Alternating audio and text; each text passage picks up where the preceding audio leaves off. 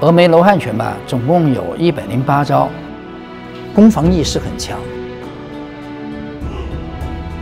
其中招式就是以各种罗汉技击的方法不一样而融合起来的峨眉罗汉拳。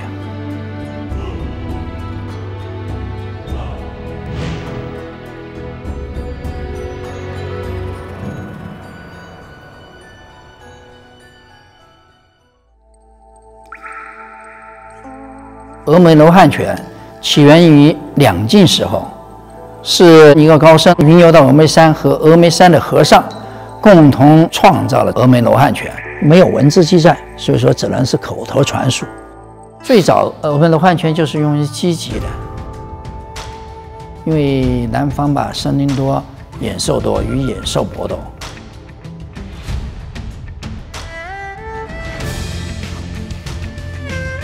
第一个动作就是童子白观音，它是一个静观音的动作出来。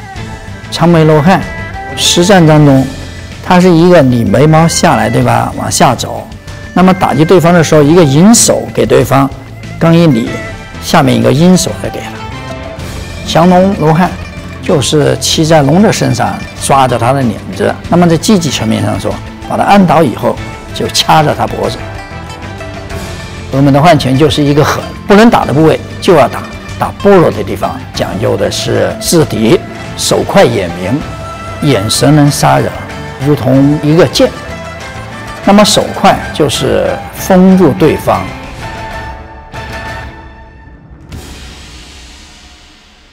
它最有代表的几招，一个是凤眼拳，它的形状就是像凤眼一样击打对方的太阳穴和耳朵。一个是牛角肘，如遇见体型比较大的人，那么你力量不行，那就用肘尖击打，两手不离腮，两肘不离怀，讲究的是一攻一守，两手同击，贴身短打这目的。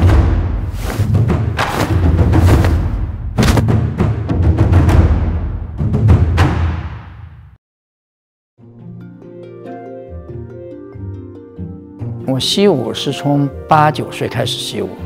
习到现在，接近五十年了。我是乐山峨眉武术非物质文化遗产传承人，也是峨眉一中的体育老师。小时候吧，就是一种好奇吧，胆气足，所以好斗，自然就脾气暴躁。在别人眼里，这个武德的问题，我和他们有一些区别，还是打了很多次架，但都不主动打人。最近一次五十岁吧，看见现在社会上停车在那一个农民工，骑着三轮，他倒车就刮着三轮上，他们下来三个人打他。当时我留着胡子的，我就走过去就把他给扔开。我那么干什么？我就砰你一一拳一腿，另外一个就在旁边吓着。所以说就是看不惯别人欺负人。武术的主要一个内涵核心内容就是积极，你要能打才能展示武术的价值。你没打，就不称其为武术，就是另一个武武道的武。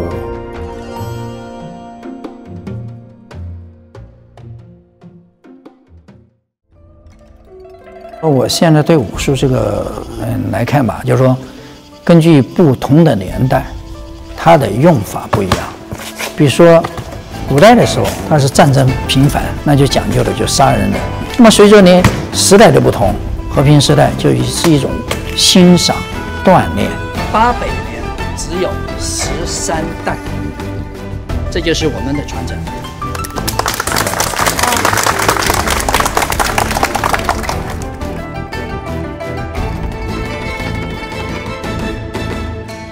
人的潜能吧，有了二十四，但是每一个人就四五种，可能我的潜能其中有一种好动，对武术情有独钟。